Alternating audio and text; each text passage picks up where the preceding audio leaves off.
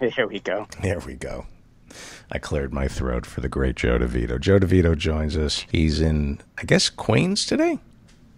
Uh, no, Long Island, back home. Long Island, back home.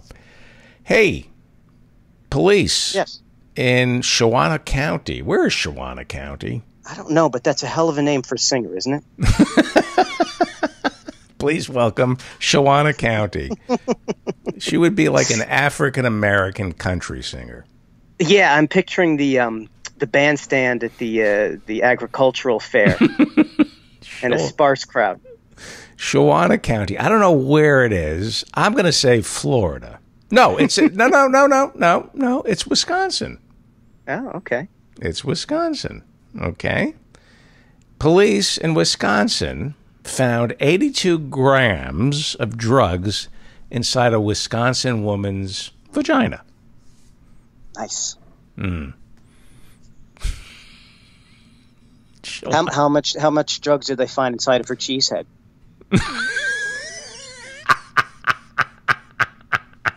that's that's got to be the best part about smuggling drugs in Wisconsin is that you could just have the giant foam cheese wedge on your head and they would never look in there.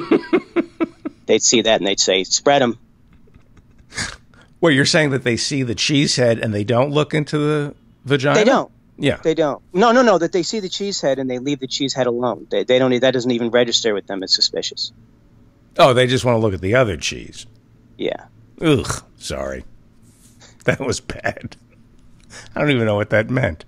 So, a Wisconsin woman is facing felony charges after police found 82 grams of drugs in her vagina. Desiree Webster, 20, was arrested in Shawano after police pulled over her 1997 Monte Carlo. Uh, talk about asking for it. Right. 97 Monte Carlo. Monte Carlo sounds like a uh, gay porn star, doesn't it? Monte Carlo. Her Hot new scene with Shawana County. Officers pulled over the car and they found heroin, cocaine, marijuana, meth, and other drugs inside of her. she was running a small Wal- Walgreens out of her personal area. Sounds like Tom Sizemore was going down on her and threw up. That's just the residue. She queefed and the cops got a contact high.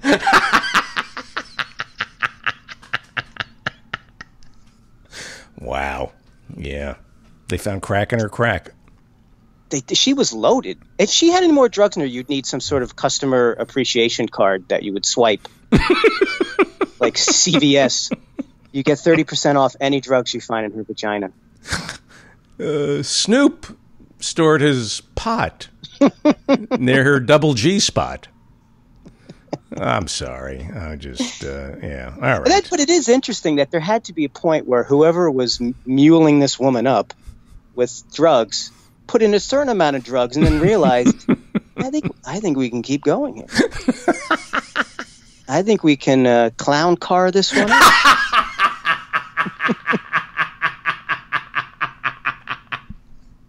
clown carring, clown carring her vagina. It's it's a lot. It was a lot of drugs to the point where I think if you if you just lightly tugged on her hair, her head would tip back and OxyContin would come out like Pez.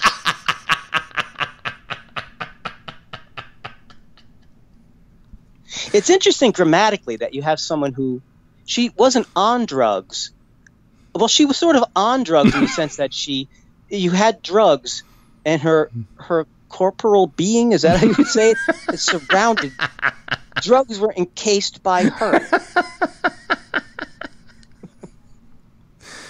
Uh, her uh, boyfriend used to point to her vagina and say, "That's where babies come from."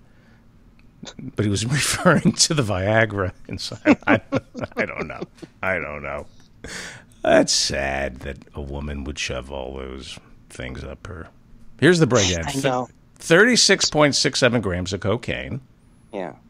fourteen grams of meth. Yeah. It's it's a, I, I'm telling you, it's a ridiculous amount of drugs. 1.26 grams of marijuana, which will now be referred to as skunk weed. yes, it's true. Because now, the, even with the first two, you, look, I'll let you carry a certain amount of meth in your vagina. I'm no, I'm no square, okay? But once you get to the pot, that's like that's kind a little too organic. Yeah, plus which nobody gets arrested for pot. You're just shoving things in your vagina just to shove things in your vagina. That's Yeah, I think maybe she just was she just was looking for she just happened to be at a drug den and said, "Yeah, let's give that a shot here." I don't know. And you know the same the, you know what the tragic thing is that if she had filled her vagina up in Canada, it would have been covered by the government. The government would have covered all those drugs. All right. Well, there's some.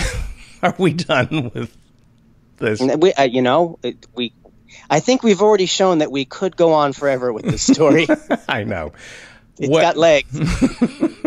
Well, there is something called television that you and I try to write for and create shows for. And you and I believe that television has the potential to really teach the Republic. There's something called the Learning Channel. And on the Learning Channel, Yeah. they teach. Yeah, they they teach you what it's like to have a 600 pound life. Yeah. So, let's say maybe you uh, you you maybe you have a 598 pound life, and you're thinking, what's next? I'm eager to learn, and you get the Learning Channel. And now they have a new show that premiered this week called, and I'm not making this up, Dr. Pimple Popper. Ah, There's a love it. doctor. There's a Doctor Pimple Popper, and she has a new series on the Learning Channel. So that must be. Wait a second. I'm, so I guess that's the history of medicine. Doctor Pimple Popper is probably talking us through medicine from the time of Hippocrates all the way up to Sandra O on whatever that show is. Grey's Anatomy. Was she on Grey's Anatomy, Sandra? I don't know. I she don't just she just was nominated for uh, an Emmy, I think, So d- what or maybe that was Dr. Pillpopper. Also, is uh, a woman of Asian descent. So maybe uh, oh, what I'm saying is Asian people on television, you got to take the good with the bad. is Popper an Asian name? Doctor Pimple Popper. How is that? I- By the way, have you ever drank Doctor Popper? It's You know, just I it's, had a- it's just white pus. Stop. Um, Uh, I did have a Dr. Pepper last week for the first time, mm-hmm.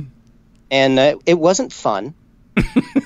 you know, the, I mean, I thought, okay, it's a pepper flavored soda. I don't get it, but I'll give it a shot. And uh, it was kind of gross, and um, no one sang to me. There was no dance numbers. There was no, um, there was no little little sweet Justin Guarini, whatever his name is. There wasn't even a David Naughton. Who needs to work these days? I have a new drink that Brett Ratner and I are selling. It's called Dr. Pepper Spray. Yeah, Dr. Pepper Spray. Because he's, a, first- he's a rapist, see. You see, it's the first drink designed to be thrown in your face.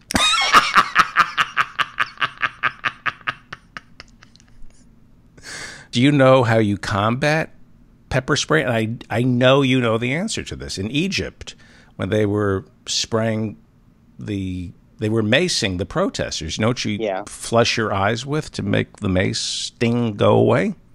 I don't know. Coca Cola. Coca Cola does a lot of interesting things as long as you uh, don't ingest it. you ever see those videos? Like they they show like an overnight. There's a there's like a, a muscle car, like a souped up car in the driveway, and they put a dropper of Coca Cola on it. And the next day you come back and there's just a, a hole burnt into the ground. The entire mm-hmm. car has been dissolved. Yeah. And then if you put Mentos into Diet Coke and Yeah. shove it up your you can go to Mars. Right? You can't just just just keep it away from the meth in your vagina.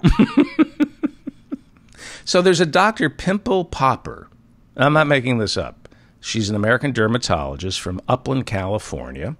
Her new show, Dr. Pimple Popper, that's what it's called, she treats various skin conditions. How Yeah. ironic that somebody named Dr. Pimple Popper would be a dermatologist who treats. Well- yeah. It's. I- I think you're confused. It's not. It's not. I don't think on her birth certificate it says that. We're not in this sort of a Dr. Seussian world where her name is Dr. Pimp, the letter L, Hopper. You know, I'm reading it. She changed your name for show businesses. It used to be Dr. Zit Zapper. so Well- you're right. Who was the guy I used to see on the subway ads all the time? Dr. Zizmor was this dermatologist. And it's like, come, don't have a name that sounds like a condition you're treating. So her name is Sandra Lee, but she mm-hmm. changed her name to Dr. Pimple Popper. She became huge on YouTube, uh. popping zits. People, It's go oh. ahead. oh. it's such a catharsis. really, you've, I- you've watched this? Oh. I hate to say it, but I've enjoyed. I don't know if enjoyed is even the word. It it it touches you in such a, a, a, a- to say it skin deep. Ho ho, not even close. It goes into the very. It's an emotion that's in a part of my spinal cord where you see the giant bolus or whatever it is, and you see it and you you get this feeling of like oh that that just can't stand i can't stand it like that and then she goes over and she gets around it and then then the moment where it pops and all the stuff comes out of it i mean it's i don't want to get freudian but there's i've had to have a cigarette after a good lancing Well, I'll tell you something that I remember from my 20s when I had back knee. mm. Women, by the way, I hope people are making lunch. Women are turned on by bacne. If you're in bed with a woman and you're in your 20s and they see bacne, yeah they want that. They want they want to tackle it and pop it. yeah and meanwhile you have a couple sores on your scrotum and you get a lot of attitude Just think of it as bacne. It's like they view hmm, bacne yeah. the way you and I view bubble wrap. And, and I'm telling you, every woman now, their stomach is turning and churning and they're nauseated, not because of the conversation, but by the truth. Every Yeah. woman, I, I mean this, every woman on the beach is looking for a guy in his 20s with bacne so they can take that guy back to their room and play with his bacne. well and I, know they're resisting me, but it's true. It's true. Well, it makes sense because it shows that he's probably got a lot of testosterone. Because uh, the DHT and the testosterone will give you some some bacne, um, and it's probably if a woman's looking to change a man, that's probably the most rudimentary. You know, that's like an entry level change you can make. Is that I have squeezed you and removed tissue, like I've removed something organic from your body. That's you know. Let me tell you something. You, you may enjoy that early on. You think a woman who likes popping your bacne? Oh, you think she's not going to tell you to drop out of the bowling league when things get serious? Do you know what, I like? But women do like that. I remember years ago, my friend Ray was uh, we were having a, a good discussion about bacne, and he mentioned how yeah, his sister used to pop a couple on his back, and when I heard that, yeah. That's incest. Well, here's the thing. When I heard that, I didn't immediately think that's disgusting. I was saddened that I don't have that kind of a relationship with my own sister. No, oh no, no, no. That's inappropriate behavior. That you should go to a he should go to a shrink. His name is Ray. Yeah. That's that's Why, you- like what they do in the South. Sisters and brothers engaging in bacne mm. popping. That's that's between lovers. It- there, well, there is an intimacy. I don't think I've ever been shirtless in front of my sister. And I don't think I should feel bad about that. Pantsless. Pantsless, sure. When I was in my little uh, Scrooge McDuck outfit. she walked in on me in my room full of gold coins. What else could I do? Um, the pimple popping, I think it's that's where the internet can fulfill a function in.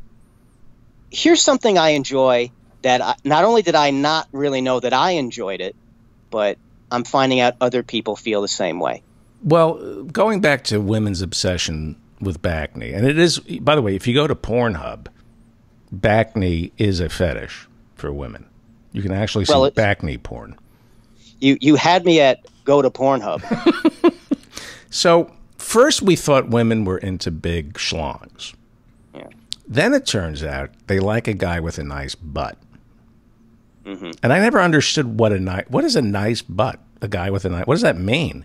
And now I know what it is. A good butt on a guy is so they can put their elbows on it while they're popping bacne. That's what turns them on. Yeah. Oh. They want to rest their elbows on your butt so they can pop your bacne. Well, eh, somebody's got to do it. I mean, that was. I used to watch the pimple popping videos on YouTube that were anonymous. I didn't even need to know. God, this is more. Now that you mention it, this is like pornography. I have no interest in seeing a pimple being popped. I, I will admit, I did watch some earwax removal videos. Those I found interesting because I couldn't believe how much it was kind of like that woman's vagina, how much stuff could be stored inside somebody's ear. You could actually store some drugs in your ear. I mean, the wax, I'm amazed at the amount of wax that can be removed from from you know ears. Yeah, I did um, a wax removal thing years ago because I I felt like my hearing was starting to go. This was when I was young, so I bought one of those kits with the you know the little bulb you squeeze and you put in a couple of drops. And I remember doing it over sink, and I heard my left ear go. Like suddenly turned someone turned on the equalizer on a stereo and the sound got that much better. And uh, I looked in the sink and it looked like someone had dumped a bowl of raisin bran in the sink. and I mean, it's one thing if you know you've got that in you. I would go to just- crazy. I'd go crazy if I knew that I had that in me. Ugh. And you know, I've never recaptured that moment. But it must have felt good, right? Oh, it felt amazing. You know what I think I liked about it was couldn't hear. I bought some stuff. Shit came out of my ear. I was better. Yeah. And I Yeah. think if if there was no ambiguity to that. My ex-wife said that I'd never had my ears cleaned because I never told her to shut up. So she figured I must be hard of hearing. I, w- I was smiling at everything she said, and she Mm, thought that was from the ice pick she shoved into your ear. she figured this guy must be hard of hearing because this torture is not working. so she poured hydrogen peroxide down my ears, and I heard some bubbling sound that went on and on. I remember I was watching Ken Burns' documentary on baseball. It had just come out. Hmm. So this is how far back this was. And I hear this bubbling, and I go, oh my God, this is like Mount Etna. This thing is going to explode. And then all of a sudden, the bubbling stopped, and I couldn't hear a thing. She dislodged the wax, and it was now blocking the entire eustachian tube. Mm-hmm. I was deaf in my left ear, completely deaf. So I had to go to the dermatologist, and he got some kind of suction, Yes. and I thought he sucked my brains out. The, the amount of stuff that was coming out, I thought, I no longer remember what the capital of Delaware is. Yeah. Put that back in me. I need that. But it's so good, isn't it? Because it's so there's like I said, there's no ambiguity to it. They, you know, you can't hear. They put some suction, and then you can hear. And and what comes out, you look at it and you say, oh, clearly that was a thing. And think how awful it would be that if you can't hear, they do the suction, and it comes out with a note that says you should have called your parents more. Like Yeah. that, that wouldn't you'd feel awful, and you wouldn't feel like, oh shit, this goes to another level. You know, you and I have brought all my listeners together right now because all of them right now are wishing they had so much earwax that they couldn't hear this conversation. Everybody's on the same page. You know, when the, when you and I speak, it's almost like the diet portion of the show. you just you cannot eat while we're discussing. well, let's go back Now- to. Yeah, go ahead. Well, if you if it, I feel like an Amazon review here. If you liked wax coming out of your ear, give Dr. Pimple Popper a shot because you know I, I remember uh, before I grew my beard out, I used to get ingrown hairs, and they Oh, go really on. Please go on. Yeah, and I remember one when I finally got under it because I hurt so goddamn much that first, uh, like a little bit of blood came out, and then some clear stuff, and then what looked like the kind of thing you put into a mechanical pencil slowly came out of my face, and then some white stuff, and then then like a series of scarves came out. And I remember being fascinated, thinking, "What is my body up to? Like one of these things. I don't need to have every possible thing." Scarves? Did a white dove fly out as well? it, it, it did. It did. so, so I think that's the appeal of the Dr. Pimple Popper. I say give it give it a shot because and then there's also times where you see someone's walking around with the, just a pumpkin growing out of their neck and you think, why did you wait? But this is a show that is yeah. going to run on TLC. Mm-hmm. It's hosted by Dr. Sandra Lee, who calls herself Dr. Pimple Popper. And yeah. I have the first episode, which I've seen. Yeah and it's pretty amazing. Did you have you seen the first episode? I, you know, I've only seen excerpts, but I did see this one that they put up was a woman had some weird growths on her ear from getting her ears pierced. Yeah, and what are those called? Uh, keloids. Keloids. Yeah, which was interesting because she keloids is a big problem. The darker your skin is, the worse the keloid scars form. And I remember that because when I used to hang around at my friend's tattoo shop, they had to be very careful tattooing black people's skins because if they didn't put the A and D ointment on right, or even if they did, they might end up with, with raised up skin and would scar up. Hmm. This this woman had um, it almost looked like when the fighters get the cauliflower ear, but it was I felt very you know I felt bad for her. She had to wear her um scarves around her ears and all that. So this this this is the kind of plastic surgery show like they they fix someone and was wonderful and that I like. I don't like that when you see these women go for botched. If you've watched botched, yeah, you? yeah. And even when you go and you see that doctor whose face is pulled so tight, it looks like he's cruising through the birth canal. he's got those weird, and, and you look at him and you think, I'm not letting this guy anywhere near. I don't care if there's a lung growing out of my head. So, Dr. Lee, keep up keep up the good work. So, uh, the premiere episode of Dr. Pimple Popper, we meet Melissa, mm-hmm. who has tried to cover a huge lipoma with a, a sweatshirt for years. Yeah. This what is, what is it? It's a head lump. It's not carcinogenic.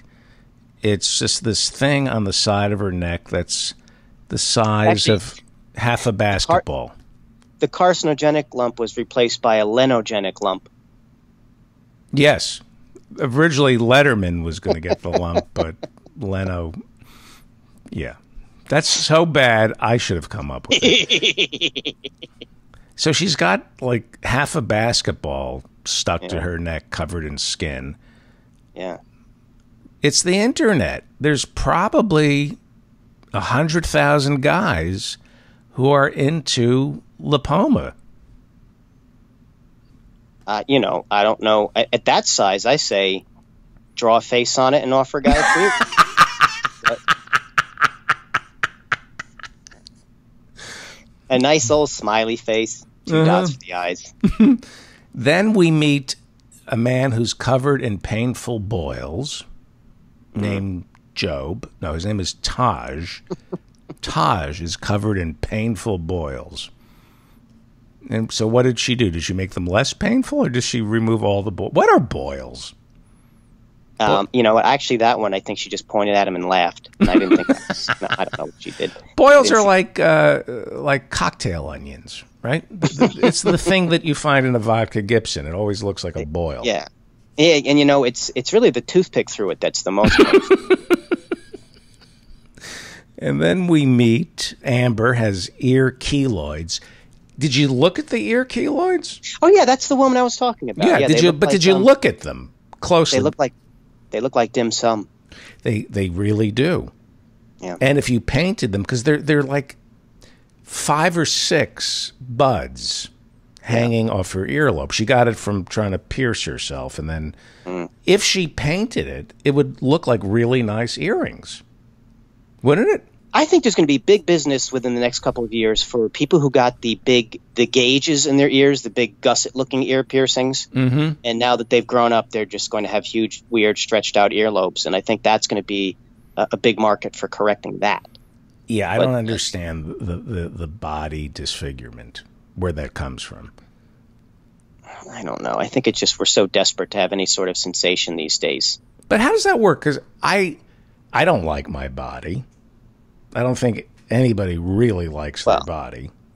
I think the feeling's unanimous on liking your body. Don't you know? So, do people like their body and then disfigure it so they can be like the rest of us? Do people do this because they look at their body and go, "Hey, I like this. Let me mess this up." Why would people disfigure themselves? Well, I'll put it to you this way: I've never seen a person who's had multiple plastic surgeries and think, "Oh, they solved the problem that time." you know, that it's it clearly is not repairing whatever they need fixed. And you lived in LA for many years, and I don't. Whenever I visit LA, I'm when you see the plastic surgery disaster people walking around, it's frightening because you see someone who has been overcome by a, a, this body dysmorphia, this this mental illness that makes them makes them do this to themselves. I mean, look at someone like Michael Jackson. with All he was trying to cover up by you know, he had his nose removed, and that still didn't make them happy. There's an entire industry built on Yeah. making us feel ugly and correcting it. There's something horribly wrong with the culture. I saw a woman who had I don't know if I told you about her. She had the most amazing breast implants, but her teeth were all jacked up. Oh, we talked about this last week. Yeah, yeah, and that's that's that to me. I thought summed it up. That whatever she needed to do, giant boobs wasn't the answer. But I see I see it sometimes with um, the women here on Long Island who I, I think it's just because they're bored, so they just have nothing better to do, and they go in and they get their lips inflated, and and it, it just it's very odd. But then again, I just was at the, at the gym pathologically going up and down with a weight on my back, so you know. Well, before you go, and thank you for a a really tasty. I'm starving. there were a couple of stories that you sent me that you wanted to talk about, and I didn't understand why you why you chose them. For example, I worried about you when you sent this to me. Okay. Lou Reed. I look through it. I go, why is he sending this to me? What's going on here? Why does he want to talk about Lou Reed? What? I- Oh, what happened with Lou Reed? I just thought it was interesting that they were saying that Lou Reed, you know, passed away a couple years ago, and that he had some health issues from his drug use, and that he still was using drugs. And I thought, yeah, he was Lou Reed. Mm-hmm. So that he made it to seventy-one, I don't. With a full head of hair, Yeah, looking You know what pretty great. He's still. I mean, what, what could you say about him? Oh, he he lost his great singing voice. He was a horrible singer, but a great deliver a song. Mhm. So I just thought it was interesting that this was this was a I guess a slow news day. That like I mean, the guy wrote a song called Heroin when he was in his twenties. So, according to this article, he was taking interferon yeah. to deal with his hepatitis C. Mm. He contracted hepatitis C from dirty needles while Yeah. injecting heroin. He was given electroshock therapy at the age of 17 to deal with his bisexuality at a New York psychiatric hospital. Hmm. Yeah, I, I think that treatment has fallen out of favor. It's zapping the gay out of you. Doesn't work. He drank. A, see, this is the thing that pisses me off. Yeah. He drank a bottle of whiskey a day, shot heroin, chain smoked, and was hooked on amphetamines. And at 70, he looked better than me at 20. Why? Uh, hey, some people just they're very hard to bring down. Why? I was watching a, a, a, Larry Miller clip from the late '80s. That me too. song- Me too. Oh, the se- seven stages of being drunk. The, the five levels of drinking or whatever. It is. he Yeah, was so handsome. I, I watched that like a week ago. It's so good. Yeah, The clip I watched was from On Carson. '88. when he was on Yeah, Carson. something like that. Yeah. And he makes a reference to, like, you look like Keith Richards or something like that. And I think that's from 1988.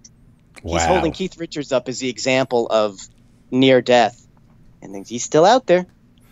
I Remember a watched. couple years ago where they said Keith Richards got hurt falling out of a tree, and we all thought, "What the fuck was he doing in a tree?" How does he need to tempt fate any more than just by being who he is? He was climbing a, like a, a a palm tree in Hawaii or something for a coconut. Yeah. Keith Richards, man. Inject, inject it.